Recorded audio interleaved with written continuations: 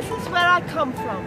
Here I grew up till the third grade and we go now up to the beers. Let's go. Oh, that is so beautiful.